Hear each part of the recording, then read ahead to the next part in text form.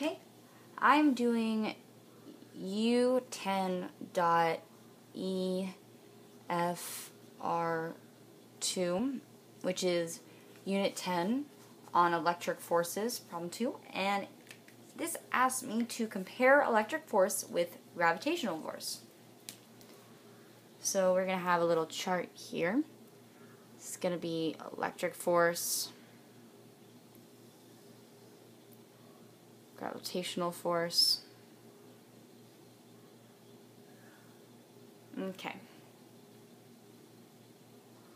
Electric force is the is two charged objects near one another may experience acceleration either toward or away from the other because each object exerts a force on the other object. Gravitational force is the mutual force of attraction between particles of matter. Electric force and gravitational force are both field forces, so that's something they have in common. A field force is a force that is exerted by one object on another even though there is no physical contact between the two objects. Electric forces can be either attractive or repulsive. So they're attractive or repulsive. Gravitational force, on the other hand, is always attractive.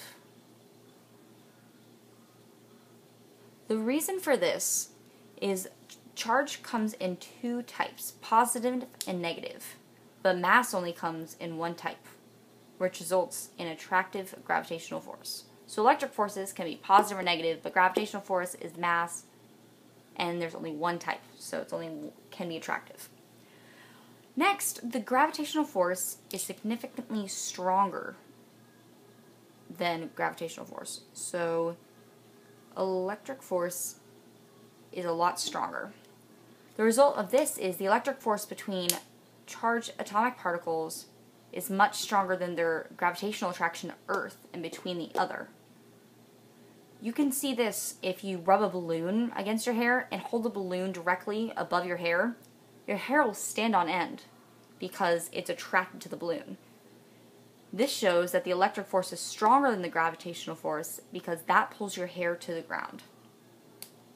On the large scale, the relative strength of these two forces can be seen, noting that the amount of charge required to overcome the gravitational force is relatively small.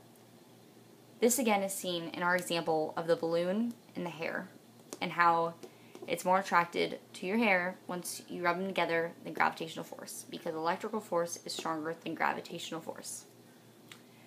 And there you have it. That's uh, similarities and differences between electric force and gravitational force.